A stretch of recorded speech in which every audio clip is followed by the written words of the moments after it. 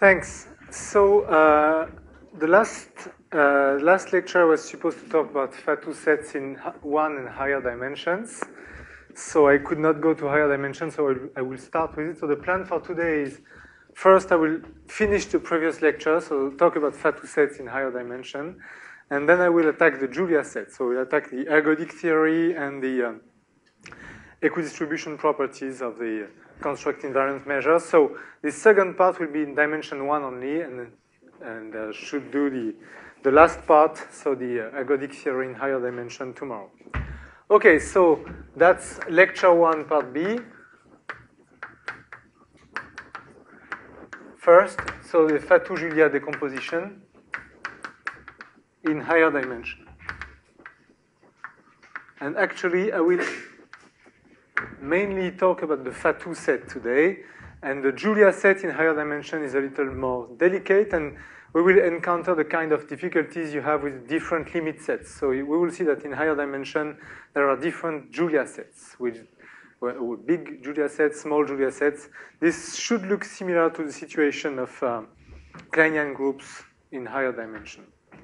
Okay, so uh, again, so what is the setting? So what are the kind of mappings that we want to iterate. So in higher, so let's start with the same setting. So I take a certain algebraic map on a certain algebraic manifold, and I want to iterate it. I want to iterate, and as before, to uh, describe the future of points. So in that case, so I explained that in dimension one, you, you don't have many choices. Either you have compact Riemann surfaces of higher genus, in which case there's no dynamics. You have tori, and then you have P1. In higher dimension, it's very different. You have plenty of possible algebraic varieties, and uh, you have to make choices. So let us start with x equals C2. And basically, we will only be talking about C2 in the talk. Uh, if you start, so uh, you take a certain mapping from C2 to C2, and uh, you would like, for many reasons, to compactify it. You, it would be much easier. So as we were working in one dimension, we compactified the plane, the complex plane to the projective plane. Here you'd like to compactify it, right? So a, there are many choices, there are many compactifications of C2, many possible compactifications of C2. For instance, so one natural one is the complex projective space, but why not a product of P1s? And why not blowing up all these guys at, uh, at points at infinity? You have many choices. And one important part of uh, higher dimensional dynamics, at least, is to find the good, if you start with, say, a polynomial mapping from C2 to C2, to find the right compactification in which you, you want to work. So I don't, I, I won't enter into the details here, but perhaps let me do a few computations, okay? A few computations related to CP2. So, uh, if I take coordinates, zw on C2, you can view these, uh, uh, you can homogenize these coordinates. So I will consider corresponding coordinates in CP2, uh, big Z, big W, and T, and the small z will be Z over T, and small w is uh, W over T, okay? Let me take a certain polynomial map.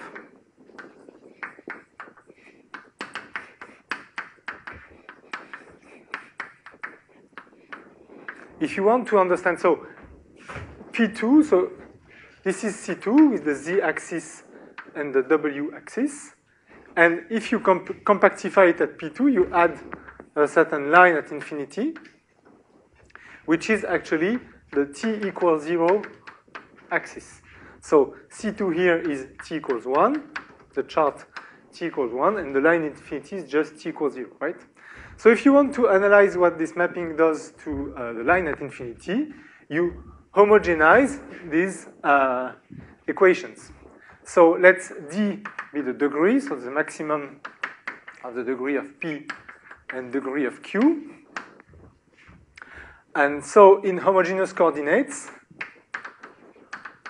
zwt goes to, uh, so you homogenize td p of z over t w over t, uh, td q of z over t w over t, and td.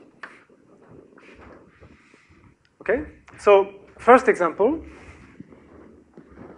First example, assume that so the, the, the, there will be different behaviors according to the uh, homogeneous part of higher degree of these polynomials p and q. So first, first case, for instance, assume that p of zw is something like zd plus terms of lower degree. And also q of zw is wd plus terms of lower degree. Then when you homogenize, you see something like that. What you get is uh, ZD, capital Z now, plus terms of, of lower degree of ZW and T, WD plus terms of lower, lower degree, and TD. Now when you restrict to the line at infinity,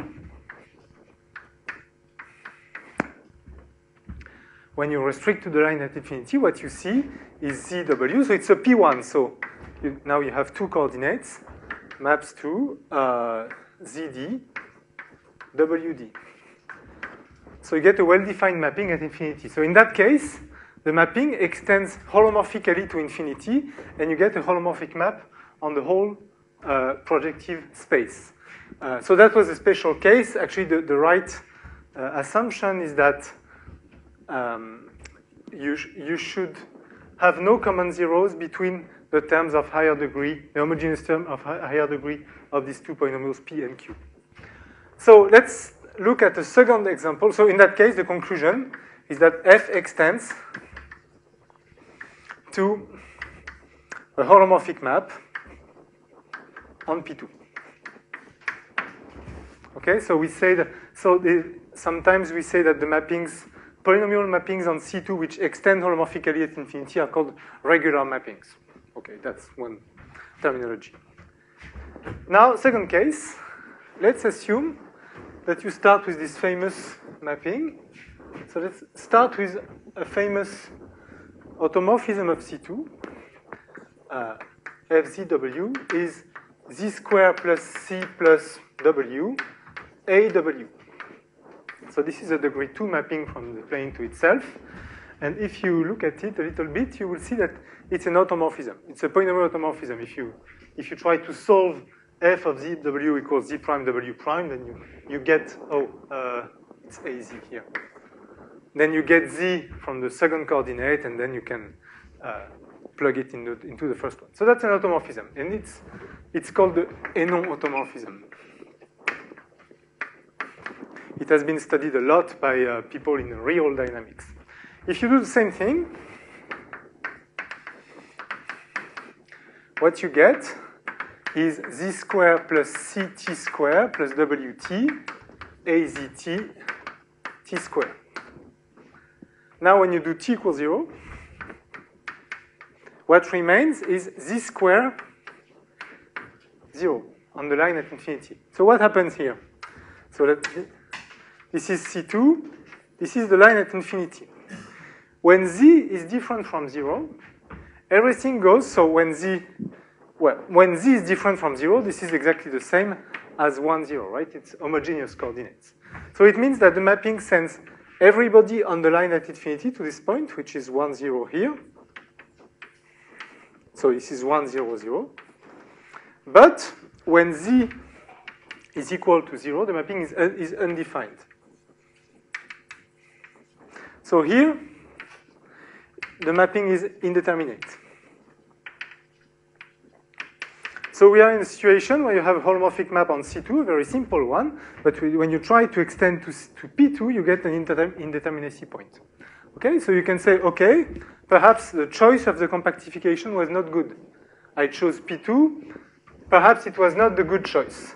And the answer is that there is no good choice in this case, so there's a theorem, which is uh, due to uh, Diller and Favre,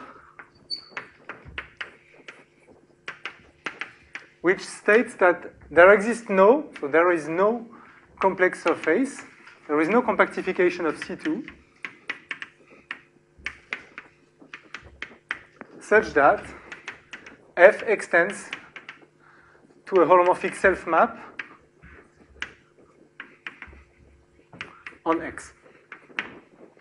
So you can make F holomorphic, you can resolve the singularities, but then you will fall in, in some other manifold. So you cannot find the self-map which is holomorphic. Okay, so it means that in this special simple case, that you have to deal with rational maps which are not defined everywhere. That's an important fact. And actually, these, uh, so you have plenty of classes of mappings with different behavior. So perhaps you cannot find you cannot find the compactification when the maps become holomorphic, but perhaps you can find the compactification which is well adapted in, to the dynamics in a sense. So I don't want to be too precise here, but there is a notion of good compactification. And uh, so uh, let me just say that good, good compactification still exists.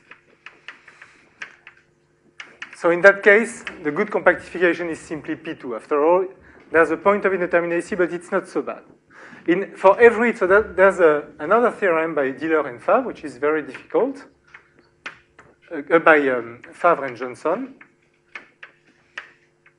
I don't need to state it. So this uh, theorem by Favre and Jonsson says that good compactifications always exist for polynomial maps of, of uh, C2. So this problem of compactifying is well understood in two dimensions, and it's completely open in higher dimension. So there's a real difficulty here. We have to live with that.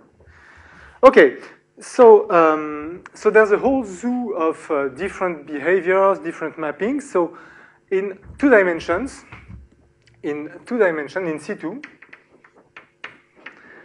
two good uh, representatives of the, of the diversity of behaviors are these two guys. So there are two classes of interesting mappings.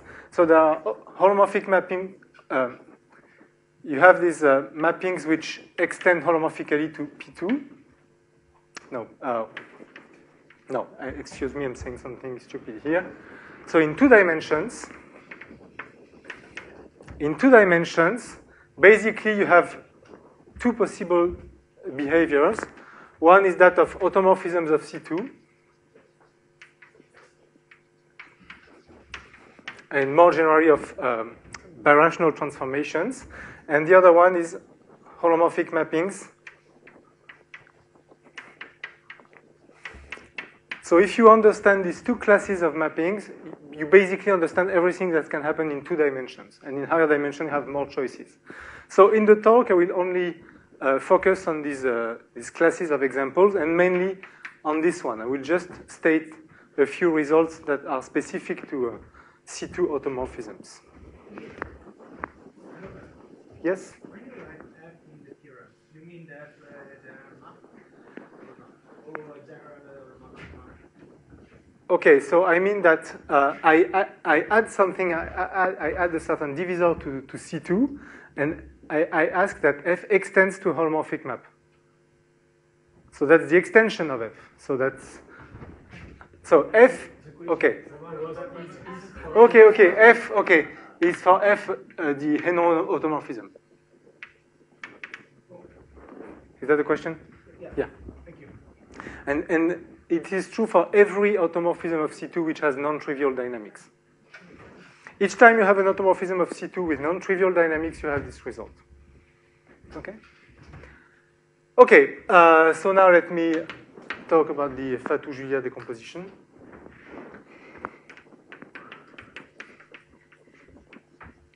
So here the definition is exactly the same as in one dimension. So you have the notion of normal family in this context. So the Fatou set, again, it is so here I, I take f from uh, x to x, where x is C2 or P2, and f is one of these two examples, okay? An automorphism of C2 or mapping on P2. So the Fatou set is a set of points x such that fn is normal in the neighborhood of x. And the Julia set is the complement. So we will see in the next lecture that this definition of the, I mean, this is a nice definition for the Julia set, but perhaps there are, there are ways of refining the definition as you can refine the definition for higher dimensional Kleinian groups of just the limit set. Okay? Um, so there's a basic difficulty here. There are several basic difficulties, but one is that there is no Montel theorem. So the Montel's, Montel's theorem is false in C2. So you can have non-normal families of holomorphic mappings in two dimensions, which avoid pretty big sets in C2. So you, there's no reasonable analog of uh, Montel theorem, and the reason is this one, something very well known, which is called the Fatou-Bieberbach phenomenon. So this is due to the Fatou-Bieberbach phenomenon.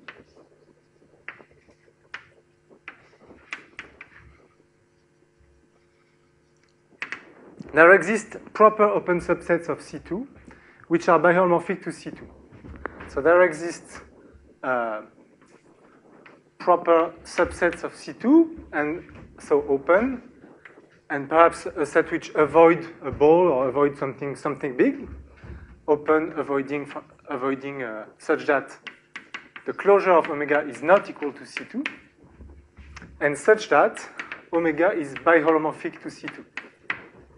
So you can map C2 into itself in a strictly smaller subset. Okay? So uh, from these kind of examples, uh, of course, it's easy to find normal families with values in such a non-normal families in values in such a set omega, right?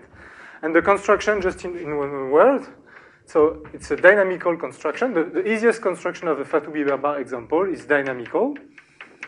It's just you take F, an automorphism of C2, which, which admits an attracting point with P, an attracting point. Okay, then, so we saw uh, in one dimension that each time you have an attracting point, it attracts a critical point. Okay? And if you look at the argument, the argument is something like if it did not attract a critical point, then the basin would be C. But here, you have an automorphism. So it cannot attract a critical point, and the answer is that the basin is biholomorphic to C2. Then, the basin of P is biholomorphic to C2. Just a simple exercise. Okay? But now, the automorphism can have several attractive points. So each time you get a basin which is C2. So this basin, most often it's a Fatou-Bieberbach domain, right? So that's one difficulty. And uh, another difficulty is that you don't have the Poincaré metric. So you have you have the Kobayashi metric or the Bergman, Bergman metric. So the Bergman metric or Kobayashi metric, these are efficient tools, but they don't work all the time. For instance, in the Fatou-Bieberbach domain, the Kobayashi metric is just zero. So you don't have the Poincaré metric. In every domain in C, you have the Poincaré, besides, except C star, you have the Poincaré metric and you can work with it. Here, in many cases, it's just ineffective. Does not, is not always effective. Okay, so these are difficulties we have to deal with. Sorry, Yes? So why, why is this second line that you wrote is not true in C? because there are if you try to prove the same argument, uh, since it doesn't work in C, it implies that there's a critical point in the And basin. You use that F is an automorphism. Yes, yes, Okay. yes. yeah. Okay, um, so let me talk about the classification of Fatou comp. Yes, yes. What do you mean with attractive? It means that it's a nice metric, but sometimes it is it is, it is uh, equal to zero. Oh, So you cannot use it. It's only pseudometric, uh, right? Excuse me. Uh, is it a pseudometric compared in general? Yes, but uh, in many cases it just vanishes. Okay, Okay, so you cannot use it to, to, to find fixed points or whatever. Okay? thank you. Okay, so let me talk about Fatou components. So there will not be many proofs here, just a collection of results about Fatou components. So what do we know about Fatou components? So there's a starting uh, classification of Fatou components. So again, so of course you can construct many examples of Fatou components just by taking products. Okay, so uh, just by taking products of one-dimensional maps, you can you can get various behaviors. For instance, if you take, I don't know, if you take a mapping of this form, P of Z, Q of W, where P and Q are polynomials in one variable, well, you can construct examples with, for instance, a component which is a Siegel disk times a parabolic basin. So in the Fatou component, everybody will go to the boundary by turning in the Siegel disk. So you can, you can construct a few examples like that. And the question of classification of Fatou component is, is there something else? And people tend to think that most often you, you get all possible behaviors just by taking products. Okay, it's not a theorem right now, but there are, there are some uh, indications. Okay, so that's the first uh, theorem. So let me recall this definition. A Fatou component is recurrent if there exists an orbit which does not go to infinity. If there exists P, an invariant, excuse me. So an invariant Fatou component is recurrent if there exists P such that Fn of P does not converge to the boundary of omega. Okay? And uh, actually, this, uh, so we would like to classify invariant Fatou components. Invariant Fatou components, they fall into two types recurrent and transient. So it, is transient otherwise.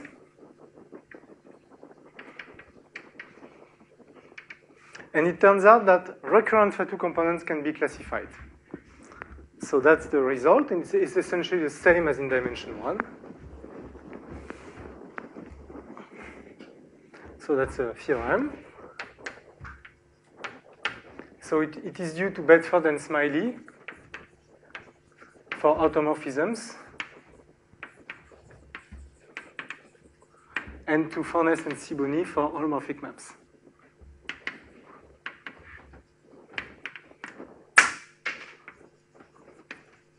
on P2. Okay, so the statement is let F be as before, so uh, automorphism or holomorphic map of, of P2, and omega an invariant Fatou component Uh, recurrent Fatou component. Then omega can be of the following types. The first case is that omega is an attracting basin. So first possibility, omega is an attracting basin.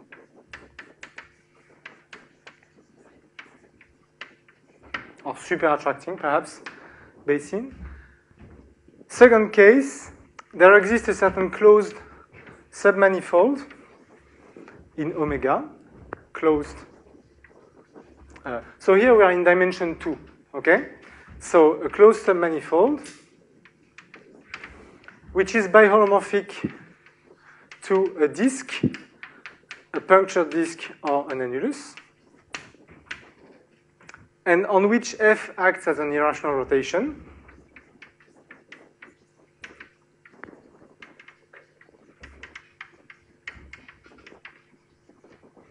Okay? And every point in the Fatou component is attracted by sigma. And for every p in omega, the orbit of p converges to sigma. So you have a, a disk somewhere in the component. So orbits are turning there, and everybody's converging to that Siegel disk. And last case, omega is a Siegel domain.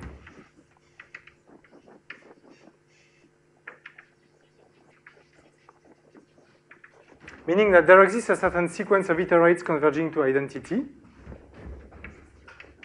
Let me not write down. So this means that there exists a certain sequence f and i converging to identity, so like in a Siegel disk. And in that case, uh, actually the closure of, of uh, Fn as a subgroup of the automorphism of omega is actually a torus of dimension 1 or 2. So is, is uh, tk times f, where f is a finite group and k is 1 or 2. So in dimension 1, if, when you're in a Siegel disk, the closure of, of, the, of the Fn is just a circle, right, in the, in the subgroup, in the, in the group of automorphism of omega. So here we can have a circle or a torus. Okay, in the torus case, you can just get from uh, linearizable fixed points with two different irrational eigenvalues. Okay, so that's for the recurrent case. Yes? Domain, you mean uh, uh, this is that the definition or this is something? This is the definition. Yes, yes, yes, yes. This is the definition. What can you say about omega? Omega is as a analytics, it's like a bounded domain. Uh, it depends on the cases. Wait, So for, for automorphism of C2, most often based in, so if, for instance, for automorphisms of C2, you know that omega is biholomorphic to a disk cross C, or uh, annulus cross C, or bidisk, or you have a list of uh, possibilities, okay? And nobody knows if uh, there are Herman rings, so if annulus cross C is possible. That's one open question. So it's an open question whether there exists a certain complex Henon map with a Fatou component which is of, of biholomorphic to an annulus cross C. That's an open question. So the, I think it's the la last possibility, last thing that is not known about Fatou components of Henon maps. So now in the transient case, almost nothing is known. There's only one uh, nice theorem, which is due to Lyubich and Peters, which is quite recent, some, and which says that if F is a dissipative Henon map, is a Henon map, uh, a polynomial automorphism of C2 with a certain assumption on the Jacobian. So an automorphism of C2 always has constant Jacobian because the Jacobian is a polynomial, polynomial which does not vanish. Okay? And you assume that the Jacobian is less than 1 over the degree of f squared. The reason for this assumption is very delicate. I don't want to explain where it comes from, but it's called moderately dissipative. Then, if omega is an invariant transient Fatou component, transient Fatou component, then it is the basin of a parabolic cycle. Then there exists a certain p in the boundary of omega with eigenvalues 1 and uh, the other one smaller than 1 because we are in the dissipative case and everybody is converging to p such that for every q in omega, for every z in omega, the iterate of z goes to p. So it's a version of the Snail lemma which we saw in the last lecture. Okay, you know that on the boundary there is a fixed point. So the fact that there's a fixed point at the boundary is absolutely not obvious because you don't have the Kobayashi hyperbolicity argument. In that case, omega is biholomorphic to C2. Okay, actually, it's consequence of the theorem that omega is biholomorphic to C2. So you cannot start the argument just by saying you have the Kobayashi metric and then everybody goes to a single point. That's the difficulty. Okay, so that's for uh, invariant components. Yes. Excuse me, the writing. Polynomial automorphism. Polynomial automorphism. So uh, that's for the classification of periodic components. So it's the, only uh, general class of mappings where we know something about transient components. Otherwise, it's completely open. So now there's another natural question, which is the question of uh, wandering Fatou components, the possibility of wandering Fatou components. And uh, there is an answer now. So the theorem is like that. So that's a theorem that we proved with Mathieu Astorg, Xavier Buff, myself, Han Peters, and Jasmin Raissy. So there are examples of polynomial mappings of C2 with uh, wandering Fatou components. So there exists polynomial mappings of C2.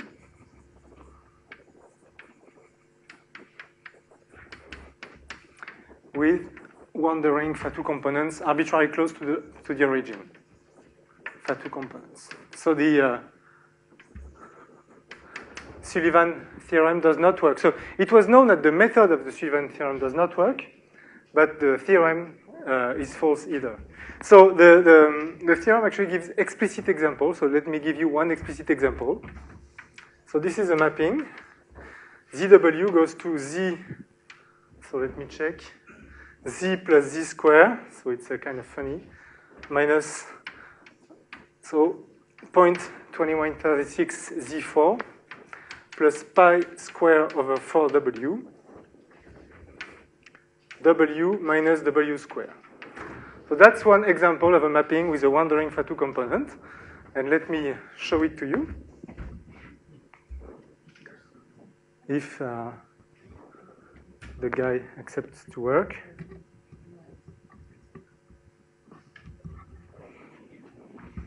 So I have pictures.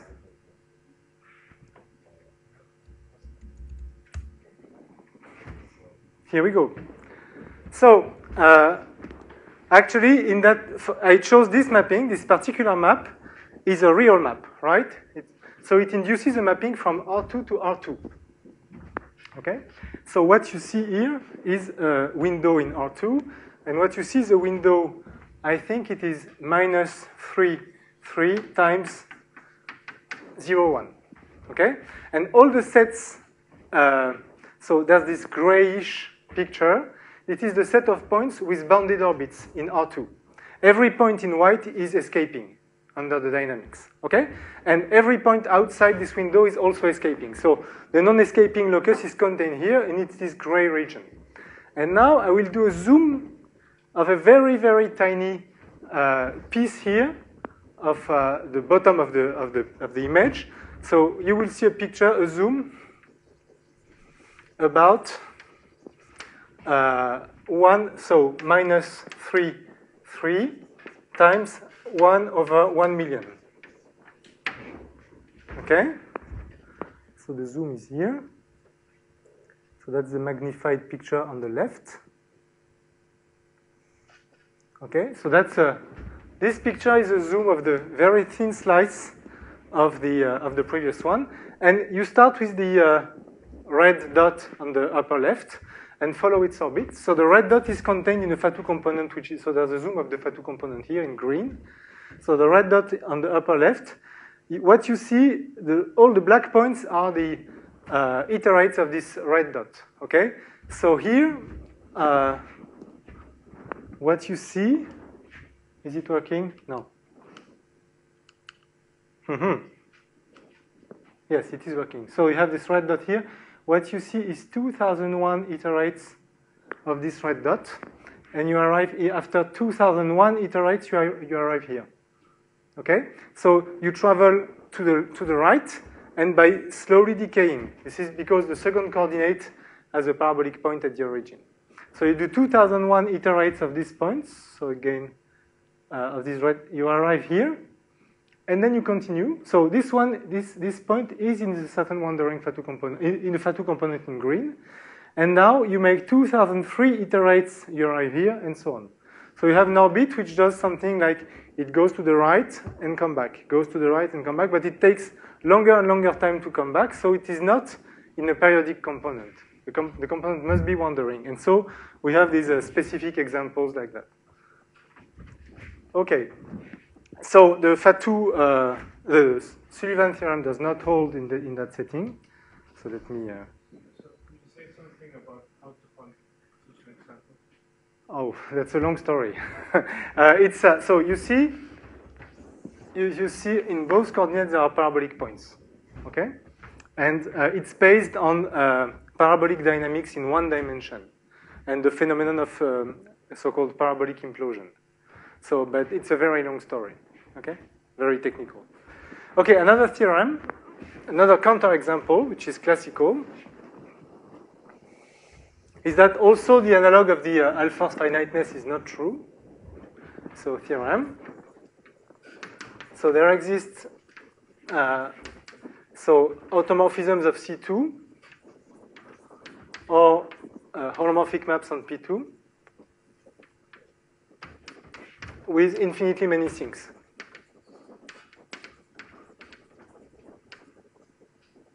So this is a classical phenomenon in dynamical systems. So that's a theorem due to Newhouse. So even if it's, it was not, not formulated in this uh, holomorphic context, it works exactly the same. Actually, you can, you can just take real maps of surfaces. And so it means that the finiteness of non-repelling orbits is not true in that case either. Okay? So that's for the uh, Fatou sets in higher dimension. What time is it? Okay. So now I would like to uh, go back to one dimension and do some ergodic theory.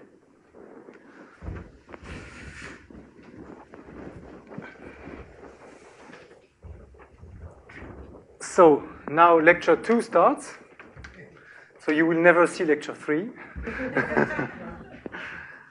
uh, so I want to talk about equidistribution and ergodic theory. Okay, and again, I will start with one dimension. So part A is one dimension. And part B is for tomorrow. Okay. So uh, let me uh, remind the setting. So the setting is just you take a rational map on P1 of degree larger than 2, and the degree is D. Okay? And I want to study the following problem. So the problem is this one. I take a point A on the sphere, and I look at the solution at the pre-images of A. So I look at the solutions of this equation. So this equation has d to the power n solutions with multiplicity. Counting multiplicity, of course, you have d to the power n solutions to this equation. And I would like to know how they are distributed on the sphere. And what we will see is that actually they always, except very few exceptions, they always equidistribute to the same thing. And this has very strong consequences on the dynamics. Okay, uh, so what, what do I mean by equidistribute? I just consider uh, what I will call the pullback. So I consider the normalized pullback of the Dirac mass at A, which is just the sum, normalized sum of Dirac masses at the solutions of, of the equation. Of course, I, I add multiplicities. Okay, I count the solutions as many times as there are solutions. Okay, and the theorem is this one. So the theorem was proved by, by Brolin in the 60s for polynomial, for polynomials. And then in the general case, independently by Lyubich on one side, and Freire Lopes and Mañé at the beginning of the 80s in the general case. And the theorem is this one. Uh, for every, so remember that there's a certain, there's an exceptional set which contains at most two points. So remember the exceptional set.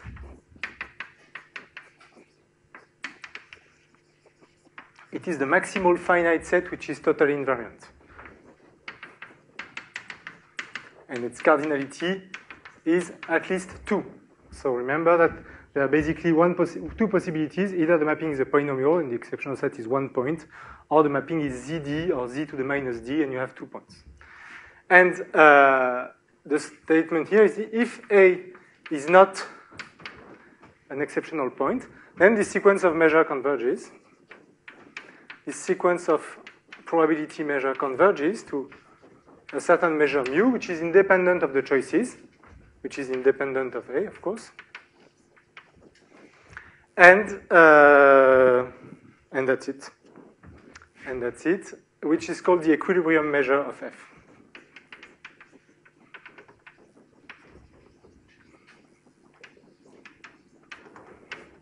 By definition. Okay? So, a consequence of this, just a restatement. If you start with a measure which now is not a Dirac mass, so if nu is any probability measure on the sphere,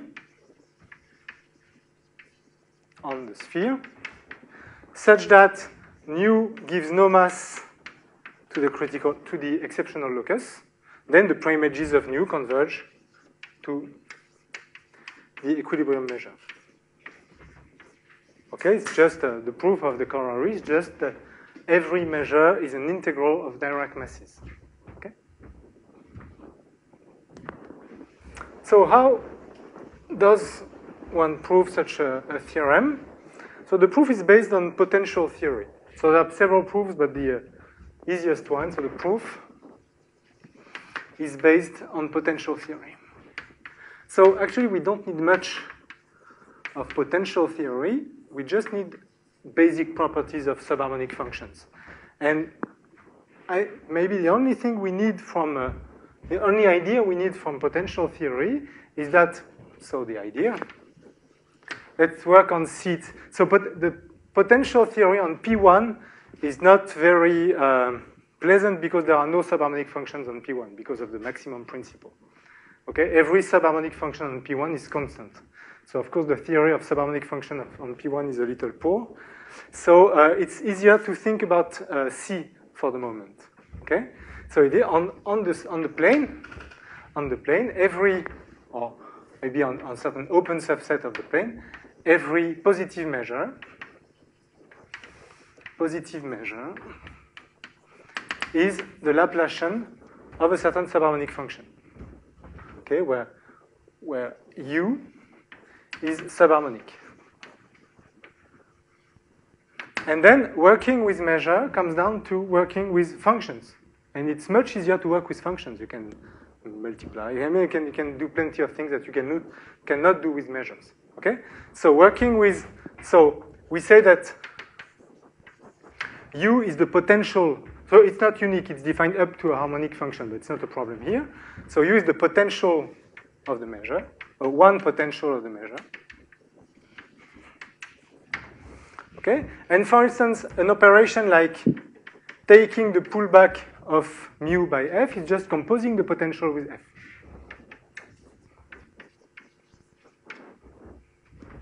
Because, I mean, it's just taking the pullback of the function, but the pullback of a function is just, just the composition, right?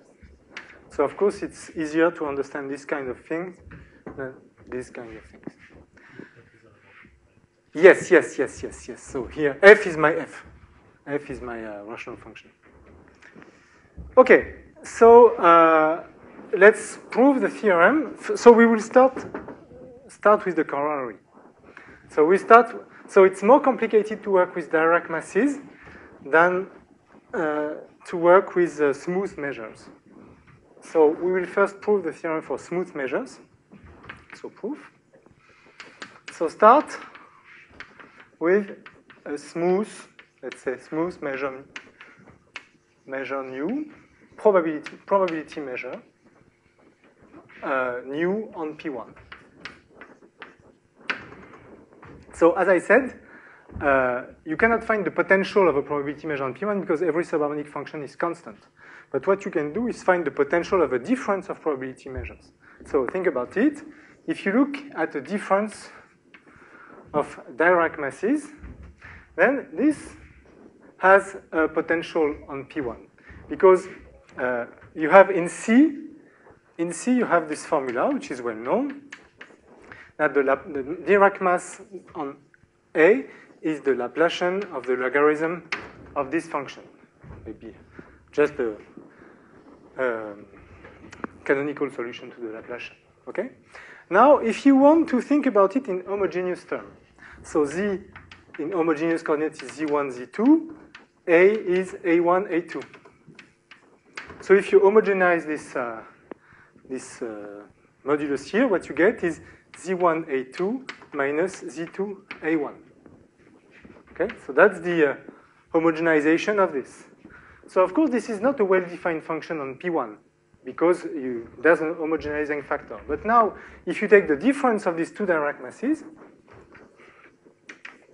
you can write it as 1 over 2 pi uh, Laplacian of the logarithm of the quotient of these guys, z1a2 minus z2a1 over z1b2 minus z2b1. And now you have a well-defined function on projective space. If you multiply z, z1 and z2 by a constant, of course, this cancel. So now this is a well-defined function on projective space, and this potential is well-defined on projective space. It's just locally the difference of two subharmonic functions. So this is well defined on P1.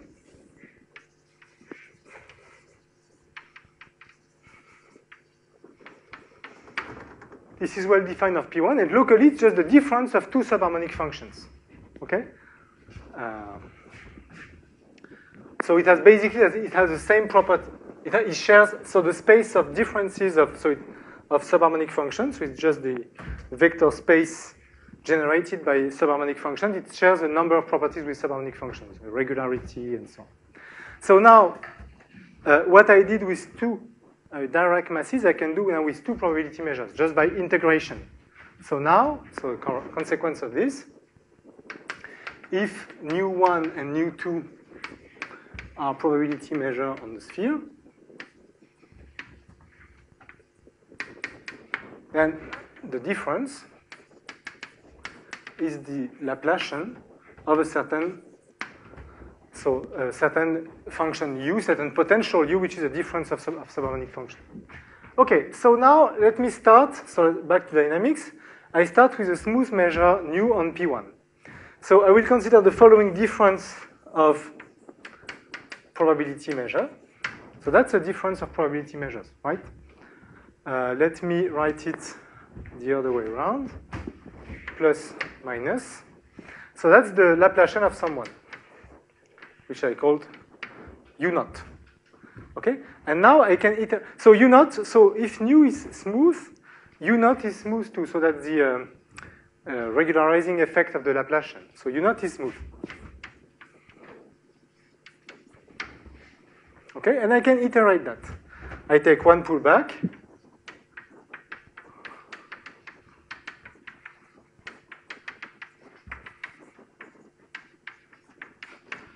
And I have this formula. And you can sum, of course, you get this uh, telescopic behavior. And what you get at the end, if you sum k terms like this, what you get at the end is just a converging series. You get something like nu is equal to uh, minus 1 over dk fk star of nu is the Laplacian of the sum of uh, u naught composed with fk. I'm missing something here, fj over dj from j equals 0 to k minus 1. Okay, that's just the telescopic version. Now, uh, this is a converging series. So you want, there is something that you miss here. Maybe in the equation you divide u naught Yes, yes, I need to divide. So I, I apply here, I apply 1 over d f star to both sides of the equations. Okay, is it right now? Yeah. Okay, so I apply this and I apply again, I just telescope, I use the telescopic sum. Okay, and I get something like that. So now this is a uniform, this is a uniformly convergent sequence of functions. So the limit will not be smooth, it will be only be continuous. But So this is a converging sequence. So by just taking Laplacian the sense of distribution, so this is fixed, you get that this sequence is converging too. Okay, so the consequence of that is that mu is uh, nu minus the Laplacian of uh, this infinite series.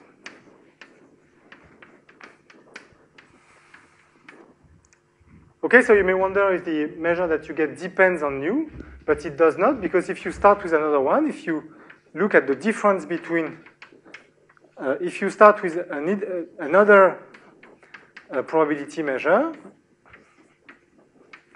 and you equidistribute both of them, it is just the Laplacian. So nu1 minus nu2 is the Laplacian of a certain g, so it's just the Laplacian of g composed with fn over dn. So it converges to zero. Okay, so you get, yes?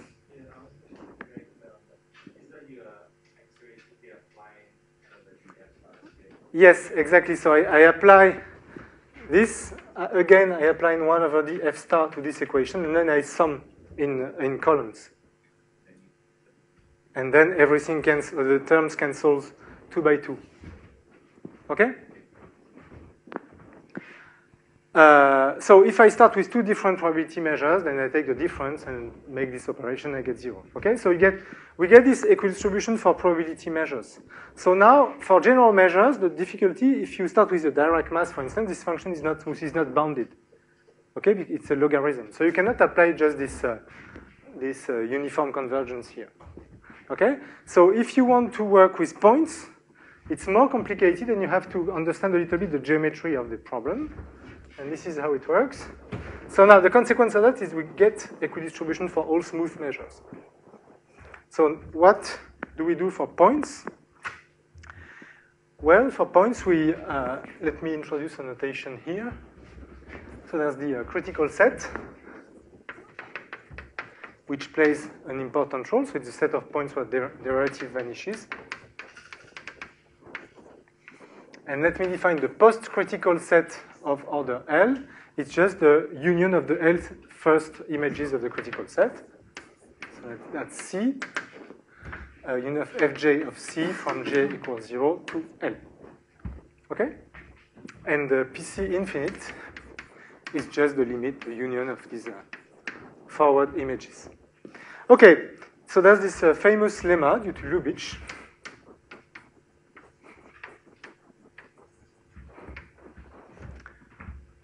which says the following. So, what is the problem? The problem is that um, one, one, something that you have to understand is when, when you take inverse branches by f, of course, the inver inverse branches are not always well defined because of the critical set. Okay, you cannot solve the equation holomorphically.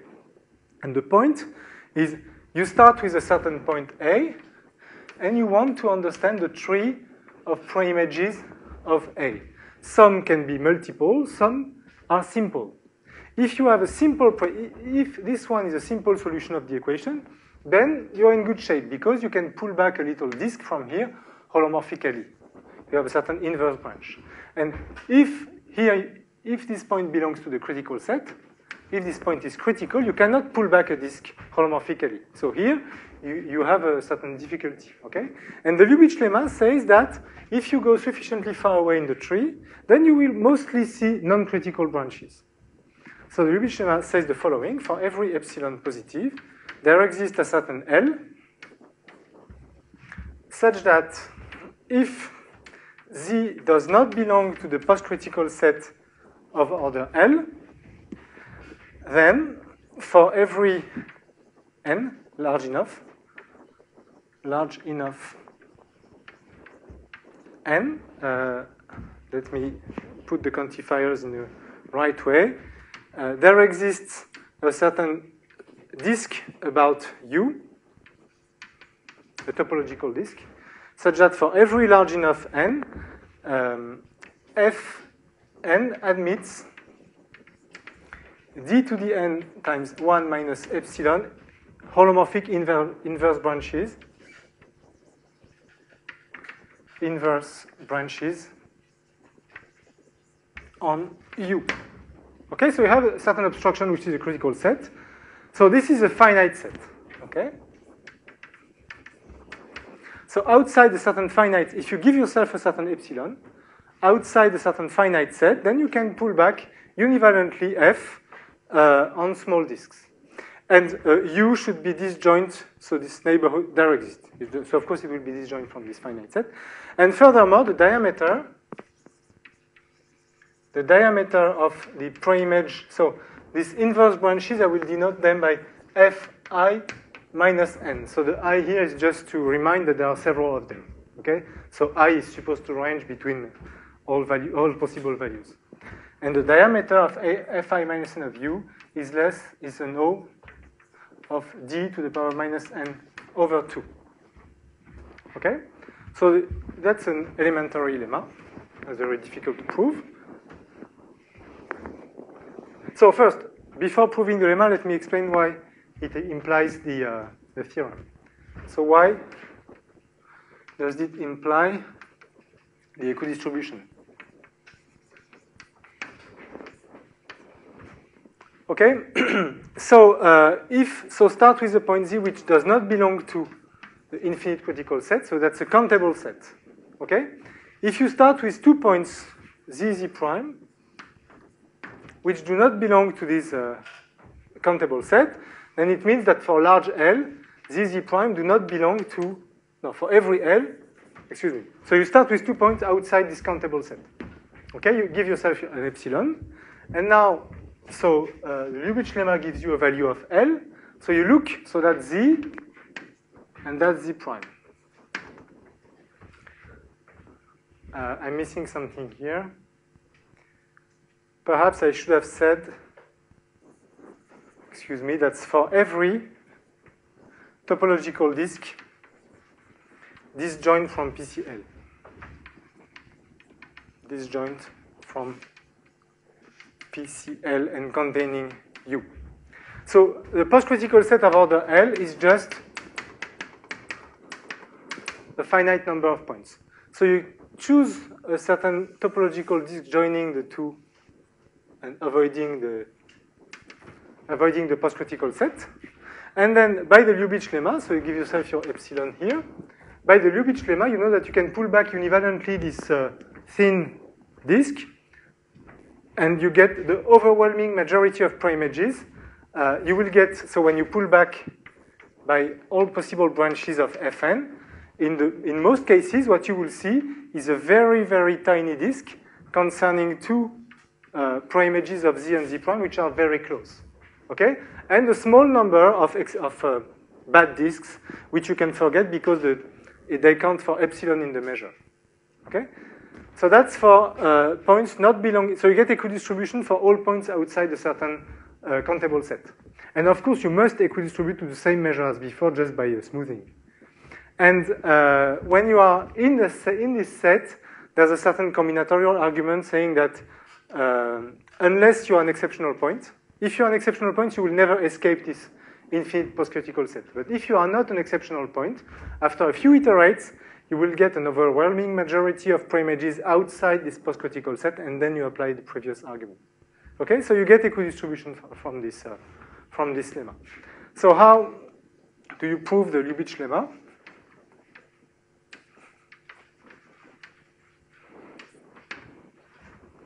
check the time. Okay. So um, I start with an open set which is disjoint from a post-critical set of order L. Okay, so it has, so this is an empty set. So it implies that U has D to the power L um, univalent preimage, no, F, excuse me, FL has D to the power L univalent preimages on U.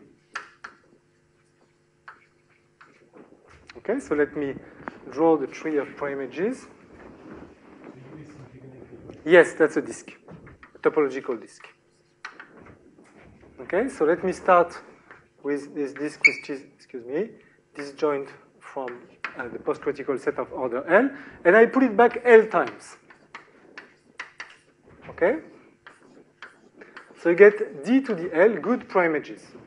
Now, uh, maybe you are in the you you meet the post-critical set of order L plus one.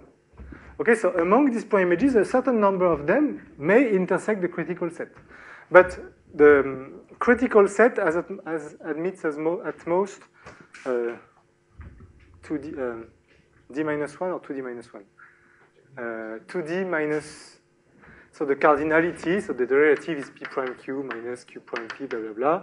So the cardinality is 2d minus 1. 2. 2d minus 1. That's something uh, I'm shocked by this formula. 2d minus 1 does not sound right. 2d minus 2. p prime q. Oui, yes.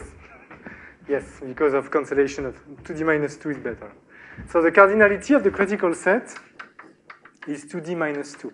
So it means that among these, d, so L is already very large. So among these d to the L preimages, at most 2d minus 2 meet the critical set. So you just you just discard them and continue. So you discard this. So that's the critical set. You discard this guy, these ones. You discard these components and keep going. Okay, and at each step, you simply discard the component you simply discard the component containing a critical point and you count. Okay, and so you see that at step uh, L plus 1, how many good preimages do you have? So you have dl at step L. At step L plus 1, you have d times dl minus d. So you perhaps you remove d components and you multiply by d. So that's preimage number L plus 1, and so on. So and so on means that you get d to the, on L plus k, d to the k times d uh, L, my, what? So, so at step L you have dl good preimages. So I'm counting good preimages. Okay? So at step L plus 1, you discard possibly, no, not, not d, 2d minus 2, excuse me. That's 2d minus 2. Okay? And uh, you do the same, so that's the cardinality of critical set. Let me say it's degree of C. So at the next step, you have this, you, you, you take this, you remove degree of C, and you start again. And so the formula should be something like uh, sum from j equals 0 to k minus 1 of degree of C dj. I guess that's the formula that you the formula that you obtain. Uh, is it okay? I guess so. I guess so. In any case, when you normalize by d to the power l plus k, what you get is d to the l plus k times 1 minus something which is small, depending on l. Okay? So if you choose L large enough at the beginning, this is smaller than epsilon, and then you are done. Okay? So perhaps there may be a small mistake here, but it's not the idea is here. Okay, so that's for the Lyubich lemma, and then you have the uh, equidistribution. So now let me uh, explain the uh, consequences of this. So now we know that pre-images of generic points equidistribute always the same measure.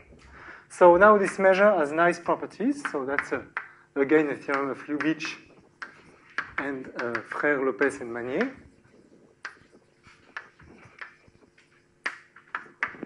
So the measure mu, uh, so the, the equilibrium measure has a number of nice properties.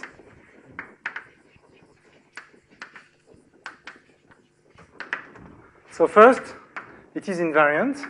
So first, the support of the measure is exactly the Julia set. So the measure is supported exactly on the Julia set. Second, the measure mu is, is an invariant measure, so it, uh, it has dynamical mean meaning, and even it is mixing. So in particular, it's, it's an ergodic measure. Third property, um, mu is as positive Lyapunov as a positive Lyapunov exponent. So mu has a Lyapunov exponent bigger than log d over 2. This means that for almost every, for mu, almost every x, if you look at the norm of the derivative of f at x and look at this on logarithmic scale, this is bigger the lim inf of this is bigger than log d over 2. So this means that on the Julia set, you really have um, chaotic dynamics. Okay, you have uh, exponential sensitivity to initial conditions. So on the Fatou set, everything is equicontinuous, and, and you have this gap.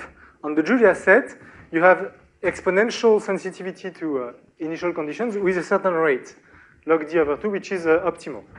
This is sharp. This is sharp. Fourth property, uh, mu describes also the asymptotic distribution of periodic orbits. Describes the distribution of saddle points, of uh, repelling points. Distribution of periodic points. Meaning that if you put a Dirac mass at each periodic point of period n, normalized by the number, and let n go to infinity, you converge to mu.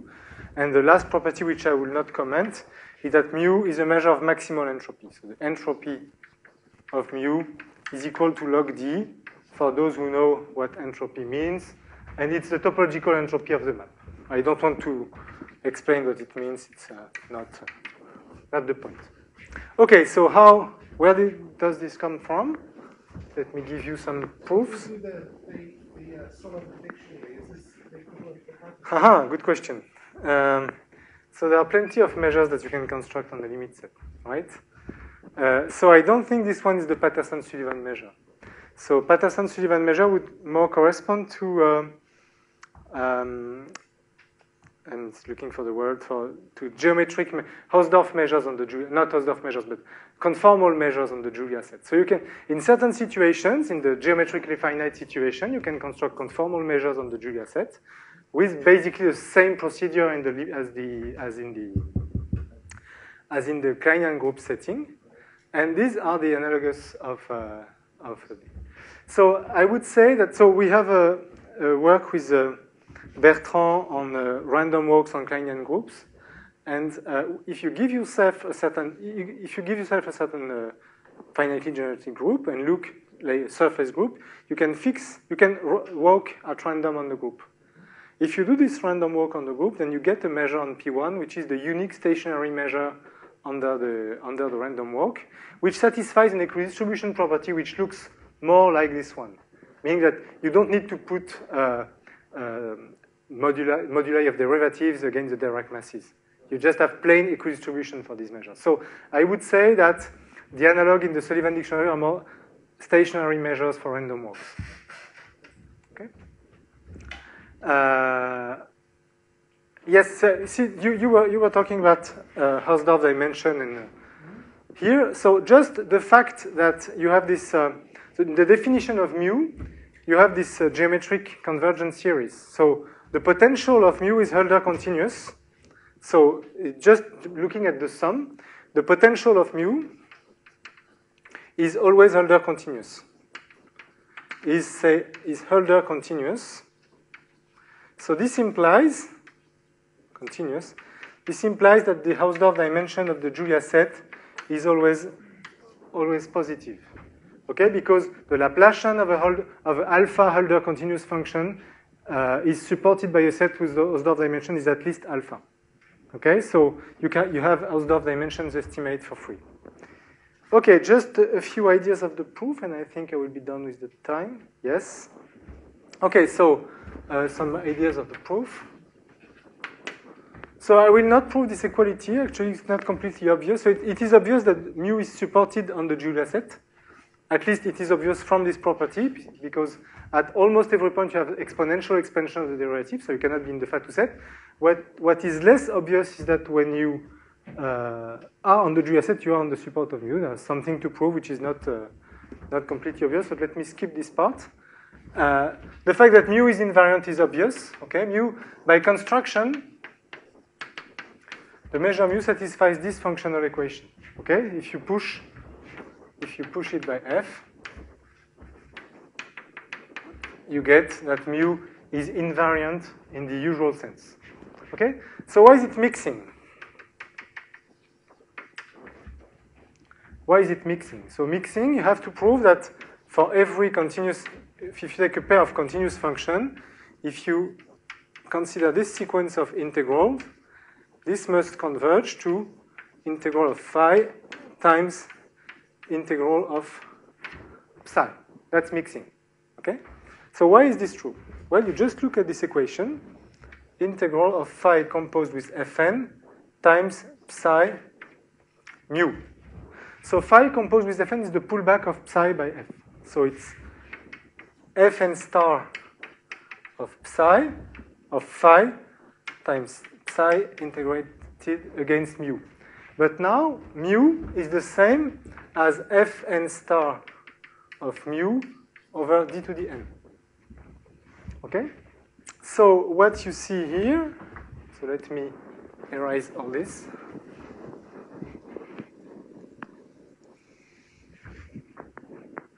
Is integral of fn star over dn of phi times mu against psi. But now this is a certain phi times, so now we can apply the equidistribution theorem to this sequence of measures. Okay? This also converges to mu. So not exactly mu because this is not a probability measure. So it converges to a certain normalizing constant times nu. And what is the normalizing constant? It's just the integral of this function. So this converges to integral of phi against mu times mu. Okay? But now when you put a psi here, you get exactly what you want. Which is mixing, right? So the measure is mixing. Um, the bound on, on the Lyapunov exponent, the bound on the Lyapunov exponent just is a obvious consequence of the uh, Lyubich lemma. So what, what does the Lyubich lemma say? The Lyubich lemma says that for typical uh, branches, if you take a point x, a typi- for in a small ball about x, if you take a typical branch of fn, it will contract this ball by a factor. Oh, I forgot to explain the factor d to the n over 2. Uh, let me, I will come, come back to this point just after. So um, what the Lyubich lemma says that if you take, for, for a generic situation, if you take a generic point and a small ball about it, for a generic prime preimage, you will contract this ball by a factor uh, exponential to the, uh, the d to the n over 2. Okay? So this is exactly, I mean, by definition, this means that the Lyapunov exponent of, uh, of mu is at least log d over 2.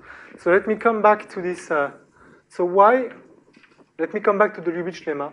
Why the uh, inverse branches have diameter d to the minus n over 2.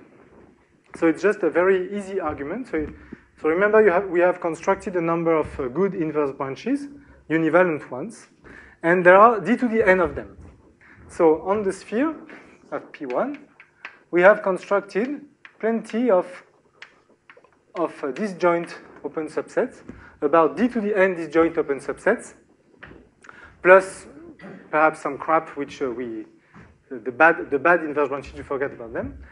So if you look at all these inverse branches, most of them have area, so most inverse branches have that the area of the preimages of U is less than d constant d to the minus n over 2. Okay, just by counting. Okay, and then you apply Koebe distortion. So by the Koebe distortion lemma, if you have this round disk mapping to a certain to a certain small set of area d to the minus n over 2, if you reduce the disk just a little bit, since the mapping is univalent, what you get here is diameter d to the n over 2. So you just conclude by Koebe distortion.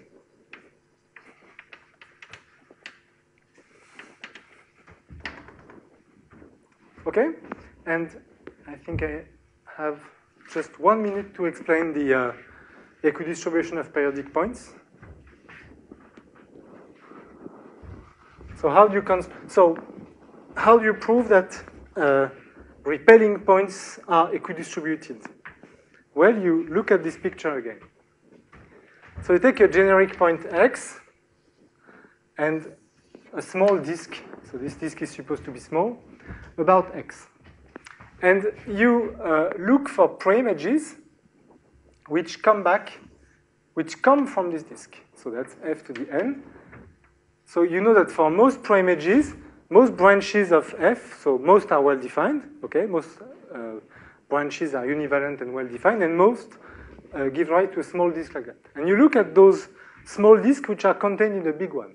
Well, it's just the set of points. So the measure of the set of uh, points which do this is just the measure of set of points which come back to D under, under n iterations. By mixing, this is approximately mu of D square. Okay? Now, uh, this is also, so each time you have a, a, point coming back, so you have plenty of nice small inverse branch like that. So that's branches of Fn. So this is also uh, the sum. This is also the sum. So here I'm cheating a little bit because, okay, uh, let me do it like that. This is the sum over all inverse branches. This is approximately equal to the sum over all inverse branches of Fn on D, okay, of the measure of this small ball here. So actually, this set is the union of small balls like that plus a little bit of crap. Okay? So this is the sum of the measures of the preimages of the inverse branch of D over the set of inverse branches, right? Now, since the measure satisfies this functional equation, you know that the measure of something like that is exactly 1 over dn times the measure of the disk. So it's the sum, 1 over dn, times the sum over the set of inverse branches of mu of d. Okay? Now, each time you have a small disk mapping into a big one, you have a repelling point, right? Just, uh, you have uh, this, uh, I don't know, a Brouwer fixed point theorem for the inverse, and the point must be repelling because of the Poincaré metric. Okay, so to each of these inverse branches is associated a certain repelling point. So it is just 1 over dn, mu of d, times the number of repelling points